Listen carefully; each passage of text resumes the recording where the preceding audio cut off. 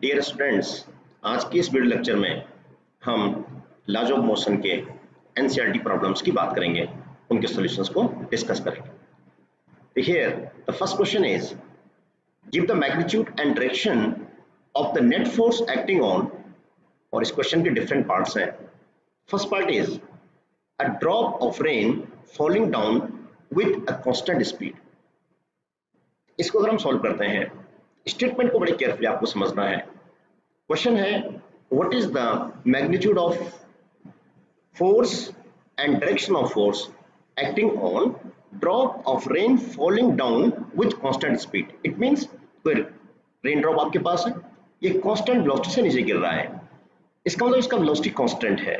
Velocity constant होने का मतलब ये हुआ कि इसका एक्सेलरेशन ज़ीरो हो जाएगा और अगर एक्सेलरेशन ज़ीरो है तो force F is equal to M A A zero हो गया तो नेट फोर्स भी क्या हो जाएगा? ज़ीरो हो जाएगा। ड्रॉप पे नेट फोर्स ज़ीरो इसलिए हो जाता है, क्योंकि इसका वेट एम जी डाउनवर्ड लगता है और एयर की वजह से अपथस्ट भी लगता है इस पर एज वेल एज विस्कोसिटी का फोर्स लगता है, जिसकी वजह से नेट फोर्स इस पर ज़ीरो हो जाता है। तो कहीं पर भी अगर आपको कांस्टेंट स्पीड दे रखा हो या कांस्टेंट वेलोसिटी दे रखा हो, इसका मतलब वहाँ पे एक्सेलरेशन ज़ीरो हो जाएगा एंड नेट फोर्स ज़ीरो हो जाएगा। Second part is a cork of mass 10 gram floating it is here. Floating on water. तो वाटर के ऊपर एक कॉर्क फ्लोट कर रहा है। फ्लोट करने का मतलब होता है कि वो इक्विलिब्रियम में है। कोई कॉर्क हमारे पास है इस प्रॉब्लम में? ये कोई कॉर्क है? और ये यहाँ पे इस तरह से फ्लोट कर रहा है। फ्लोट का मतलब होता है कि ये यहाँ पे रेस्ट पे है। इट मींस इस पे जो इसका अपना वेट होगा एम जी डाउनवर्ड जो लग रही है, लगेगा। और इस वाटर की वजह से जो अपथस्ट लगता है, एक बायंसी लगती है ये दोनों फोर्स इक्वल एंड अपोजिट हो जाते हैं और ये हमारे पास रेस्ट पे आ जाएगा। It means again net force comes out to be zero क्योंकि फ्लोटिंग कंडीशन पे है। तीसरा a kite skilfully held stationary in sky यानी कोई काइट है और स्काई पे हेल्ड स्टेशनरी रुकी हुई है वहाँ पे। इसका वो रेस्ट पे है। रेस्ट में होने का मतलब ये हुआ कि उसका वेलोसिटी ज़ीरो है देयरफॉर उसका एक्सेलरेशन भी क्या हो जाएगा? ज़ीरो हो जाएगा। और जहाँ पे एक्सेलरेशन ज़ीरो हो गया, वहाँ पे F is equal to M A ये भी क्या हो जाएगा? ज़ीरो हो जाएगा। Net force is again zero answer भी नेट फोर्स ज़ीरो है। नेक्स्ट इज़ आपको पूछ रखा है इस क्वेश्चन में, a car moving with a constant velocity of 30 km per hour on a rough road. अब ध्यान से समझना है, a car moving with a constant velocity, अब इसमें वही स्टेटमेंट आ गई जो क्वेश्चन नंबर वन में थी।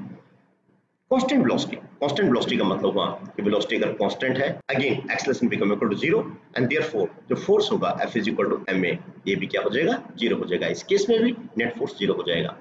A high speed electron in space far away from gravitational objects and free from, free of electric and magnetic field. थोड़ा सा electron को समझने की कोशिश करेंगे। इलेक्ट्रॉन का अपना मास भी होता है। इलेक्ट्रॉन का अगर मास है तो उस पर ग्रेविटी की वजह से एक फोर्स लगने के चांस बने रहते हैं और वो फोर्स होता है एम दूसरा, एक इलेक्ट्रिक फ़ील्ड है। अगर इलेक्ट्रॉन इलेक्ट्रिक फ़ील्ड में आता है तो उसमें फोर्स लगता है F is equal to E ये आपका ट्वेल्थ स्टैंडर्ड का टॉपिक है। वहाँ पे हम इसको डिस्कस करते हैं।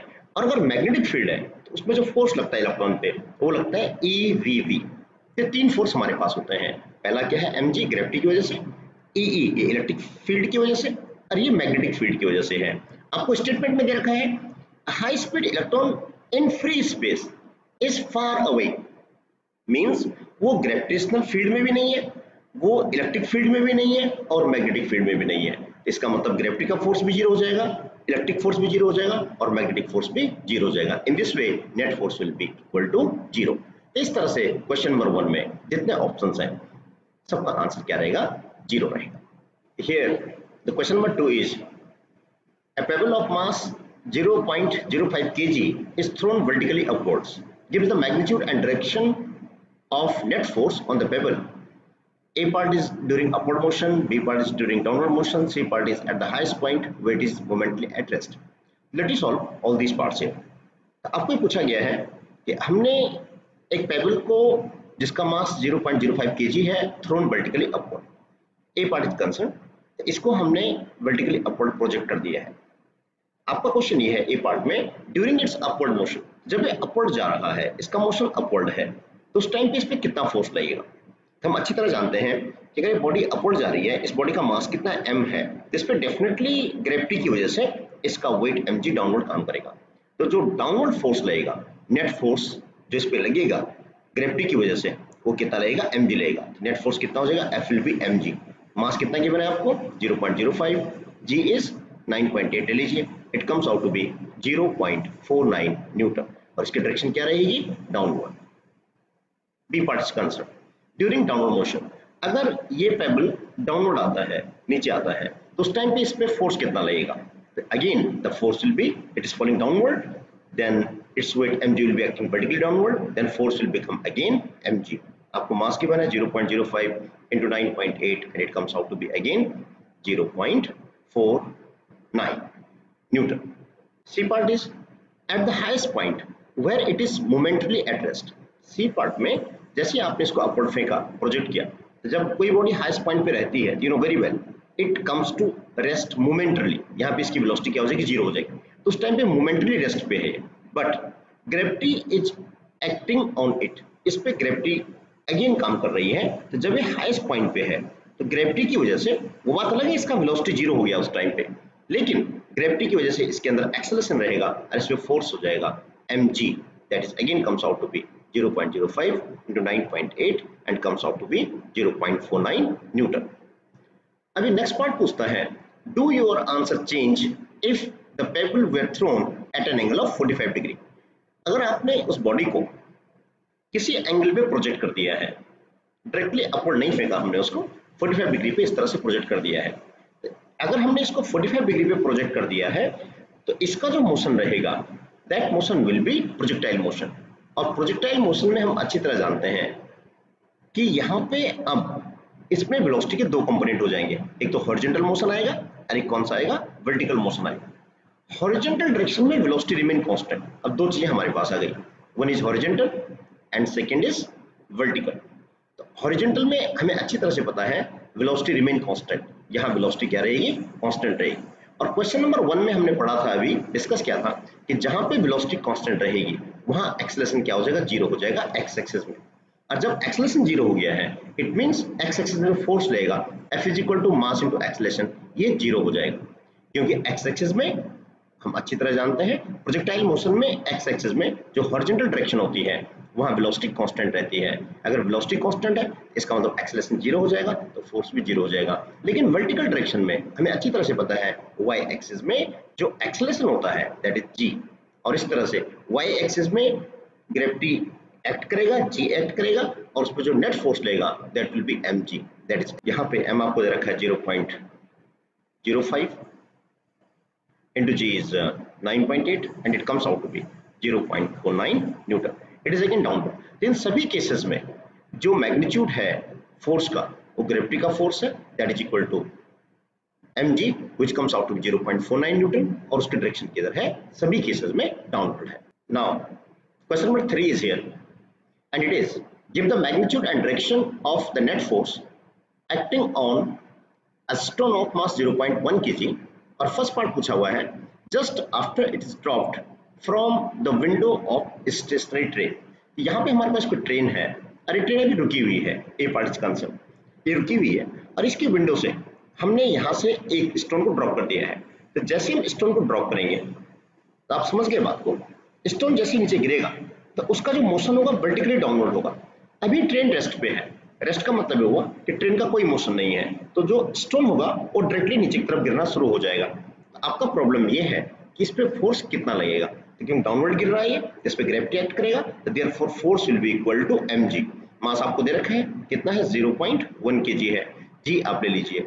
9.8 न्यूटन ले लीजिए।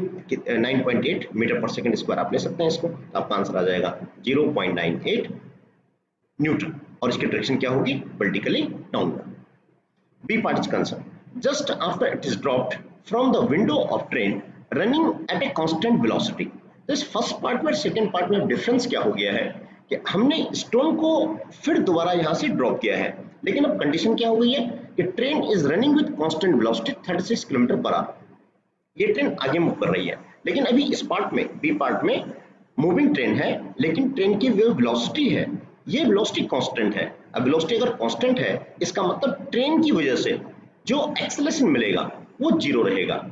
इट मींस अगेन जैसे हमने इस स्टोन को ड्रॉप किया इस पे जो लगने वाला फोर्स होगा, वो सिर्फ़ ग्रेविटी का होगा, क्योंकि आगे की तरफ़ कोई फोर्स नहीं लगेगा। ये बात ध्यान देने वाली है कि फॉरवर्ड डायरेक्शन में ट्रेन मोशन में आ गई है, लेकिन उसके बाद भी इस पे फॉरवर्ड डायरेक्शन में कोई फोर्स नहीं लगेगा, क्योंकि वेलोसिटी कांस्टेंट है।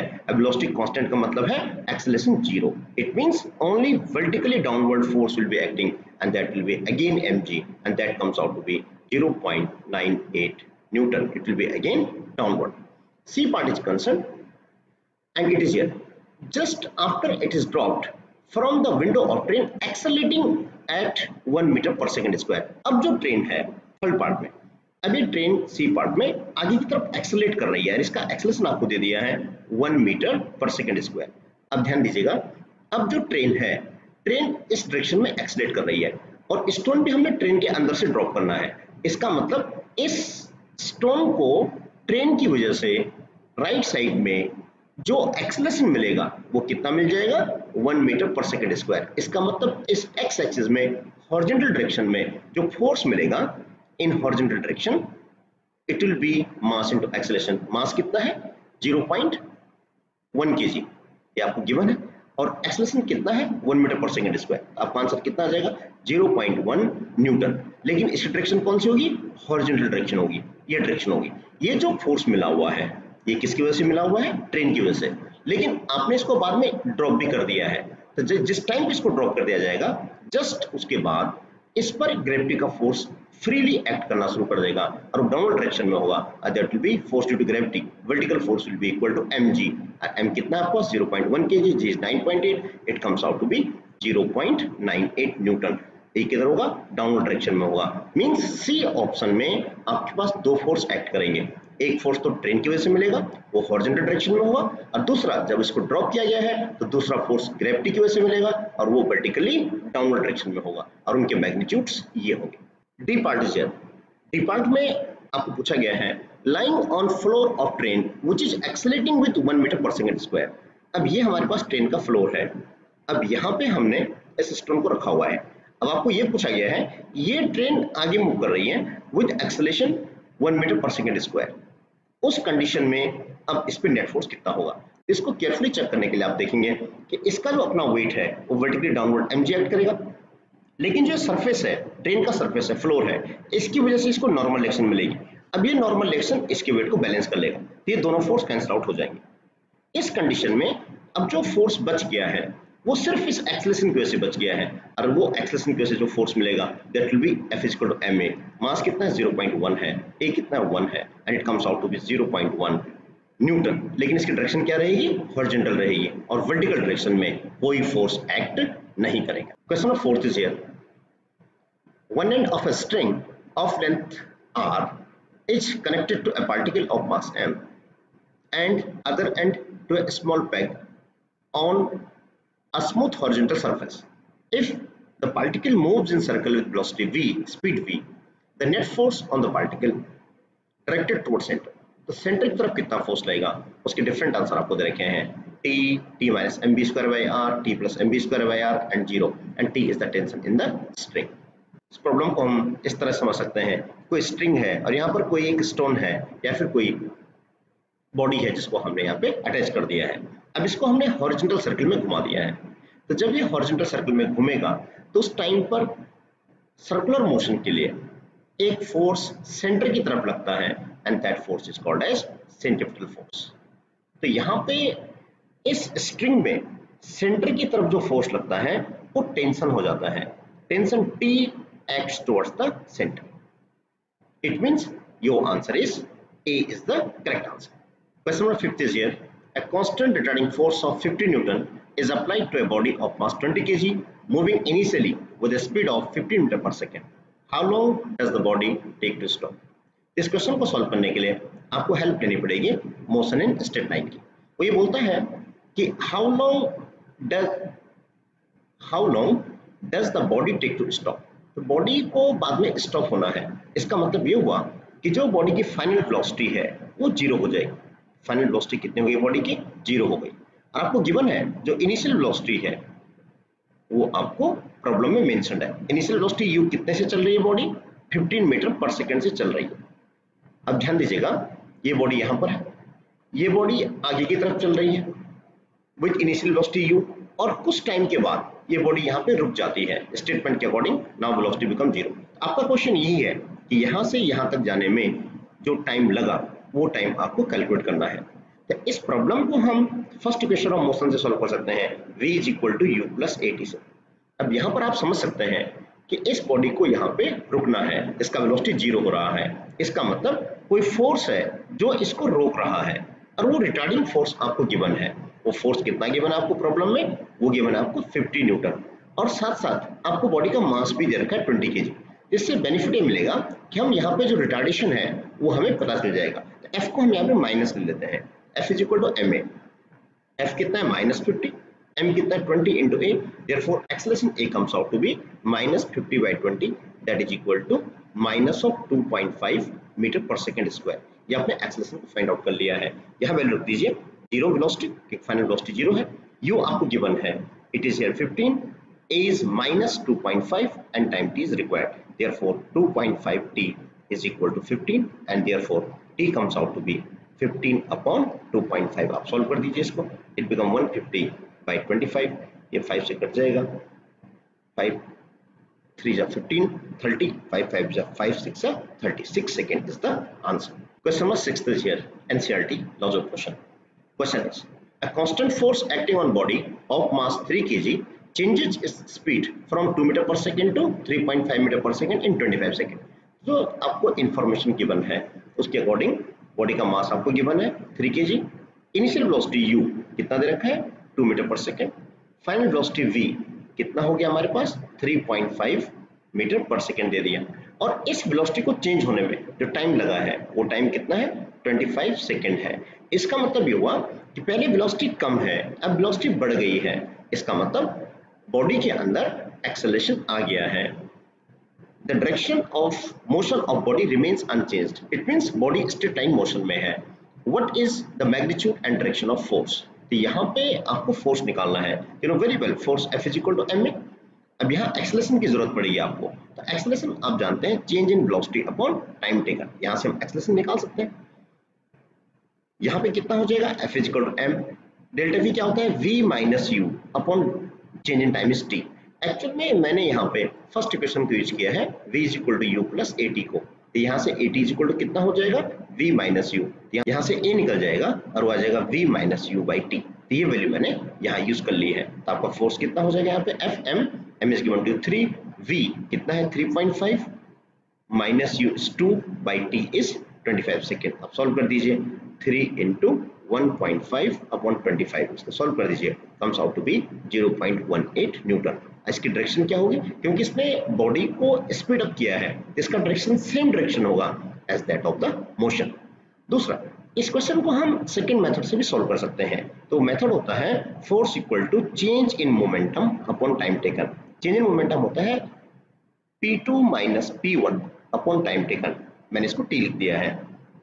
P2 माइनस पी P2 कितना हमारे पास? M v two minus p one कितना है? M v one upon t ये कितना बन जाएगा? M it become here v two minus v one upon t ये आपका रिज़ल्ट वही बन गया है, जो कि आपका यहाँ पर है। तो आपका आंसर सेम रहेगा। It comes out zero point one eight newton next question is question seventh A body of mass 5 kg is acted upon by two perpendicular forces 8 Newton and 6 Newton. Give the magnitude and direction of the acceleration of the body. अब यहाँ पे acceleration आपको find out करना है। इस problem में आपको mentioned है, या आपको दे रखा है उसने कि a body of mass 5 kg its mass is 5 kg is acted upon by two perpendicular forces 8 newton and 6 newton its up to you आप कहीं भी टू परपेंडिकुलर फोर्सेस को रिप्रेजेंट कर सकते हैं लेट इट बी एक फोर्स ये है 8 न्यूटन का यहाँ लगा हुआ है, और दूसरा कितना है 6 न्यूटन का वो डायरेक्शन में लगा हुआ है। तो ऐसी कंडीशन में जब भी किसी बॉडी पे टू फोर्सेस साइमल्टेनियसली लगते हैं हम एक बार उनका रिजल्टेंट फोर्स कैलकुलेट कर लेंगे। तो इनका रिजल्टेंट कहाँ जाएगा, उसको हम यहाँ से चेक कर सकते हैं। इनका रिजल्टेंट हमने पैलोग्राम लॉ से फाइंड आउट कर लिया है। तो जो रिजल्टेंट होगा, उसकी डायरेक्शन आपकी आ जाएगी। Is the resultant here this one ये रिजल्टेंट आ गया। पैरोग्राम लॉ से रिजल्टेंट फोर्स ये आएगा। तो रिजल्टेंट फोर्स होगा एफ़ तो आप समझ सकते हैं यहाँ से 8 न्यूटन इस डायरेक्शन में लगा हुआ है 6 न्यूटन ये है 6 न्यूटन ये है। तो आप अच्छी तरह देख रहे हैं force will be equal to ये 6 न्यूटन है, ये 8 न्यूटन है, इनके बीच का कितना हो गया? 90 हो गया। तो आप यहाँ पे वेक्टर सम इनका देख सकते हैं, ये हो जाएगा 8 square plus 6 square plus 2ab cos 90 आएगा, वो ज़ीरो हो जाएगा। तो यहाँ पे कितना जाएगा? अंडर रूट ऑफ़ 100 हो जाएगा। That comes out to be 10 newton लेकिन आपको पूछा गया है find out the magnitude and direction of acceleration तो acceleration you know very well f is equal to ma therefore acceleration a is equal to f by m. F force कितना आपके पास? 10 है.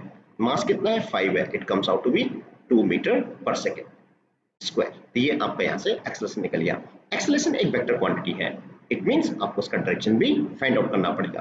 तो डायरेक्शन के लिए let this angle is alpha तो आप ले लीजिए. Tangent alpha is equal to perpendicular upon base six by eight हो जाए ये परपेंडिकुलर है, ये बेस है। तो आपका आंसर कितना हो जाएगा? It become three by four तो theta is equal to tangent inverse of three by four इसको हम बोलते हैं thirty seven degree is the answer question number eight is concern it is given to you here a driver of three wheeler moving with speed of thirty six kilometre per hour sees a child standing in the middle of the road and brings vehicle rest in four second just in time to save the child.